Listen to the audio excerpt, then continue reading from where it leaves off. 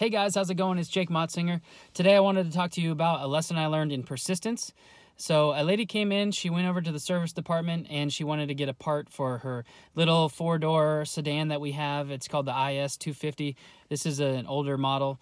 Um, she came over to where I was working and she asked to see a uh, a GX, a GX 460, which is basically um, a full-size SUV with a V8 motor in it and you know full four doors, a hatchback in the back, and anyway, she's uh, uh, it was a huge huge difference you know between the vehicles. And i just started off asking her you know what puts you in the market for this? And she said i just want to sit up higher off the ground. And you know she wasn't interested in our mid-size suvs and so i did the whole qualification and everything like that um, fast forward a little bit, we take a test drive in the GX 460 that I think is going to fit her budget. She tells me that she's looking to spend about $50,000, trade in her little IS.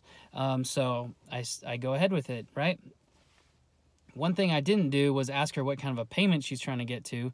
Um, and I should have asked her that. I mean, that should have been one of my first questions. Um, instead, I stopped at what's your budget?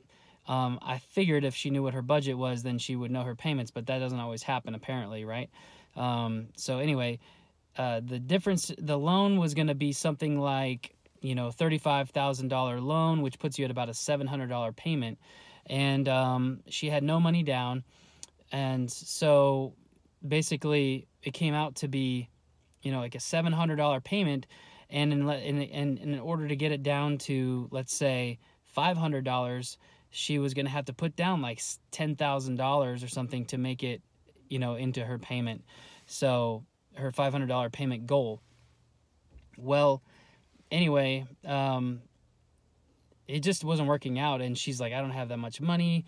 Um, I've, and I was thinking the whole time, there's no way she's gonna and i said is there a different vehicle i can show you? Can i show you an older model or can i show you um, a different brand altogether something that's an suv but you know she's like no no this is the one i want. I want this gx you know and this is the only thing that's gonna make me happy.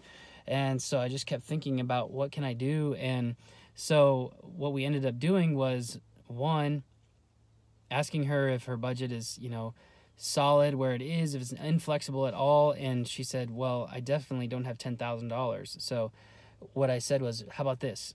Now, don't shoot me down now. These are my exact words. I said, I have an idea. I'm thinking outside of the box here. So don't shoot me down right away. Just hear me out. Let's look into leasing a new one.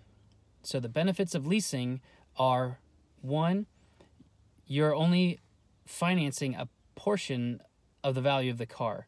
So after three years, you're going to have sort of a a payment, a payoff for the vehicle.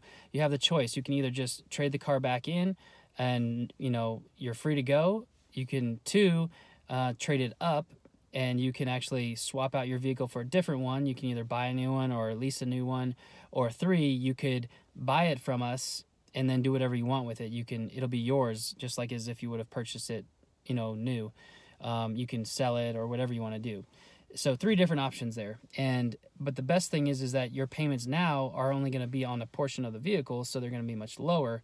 And two if your plan is to pay it off in the end if you are going to come into some money like you said you would then you can go ahead and lease it for now and then at the end of the three years you can make up your mind what you want to do with it um, maybe you want to pay it off maybe you want to maybe you liked it enough, but now you want to see the newest technology. You know, three years from now, you're going to have so much new stuff.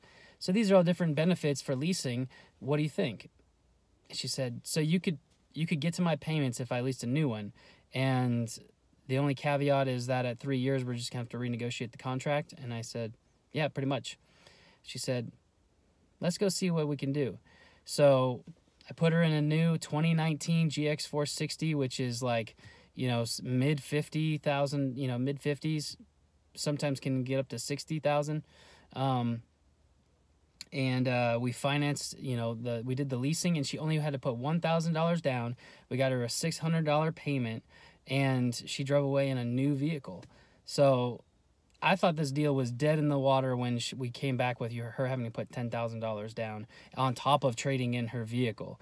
You know, this was like just so far apart and she was being such a great sport about it she was just listening she was just really interested in getting this vehicle and you know not putting up like a fight or anything but just we were just stuck and so we persisted and then of course we had to test drive the new one and you know we had to go through the whole process again but um, yeah it was like five hours to get this deal done but basically in the end she was super happy with the fact that she got a new one and she you know she has these flexible options in the end and um, i just learned a big lesson about persistence and not giving up and getting creative and using all your options because i have been in a position where i have had the mindset like well can't do this and i guess you can't have a deal here you know and that can really prevent you from making a sale if you just have that mindset that like if this first shot doesn't work then nothing will work.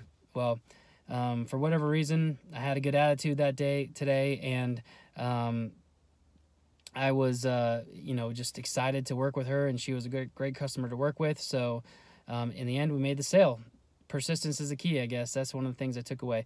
Thanks, guys, for listening. Um, I know it was a long story, but if you like this one, give it a thumbs up and uh, make sure you subscribe so that you can see my next video and my next uh, lesson that I learned.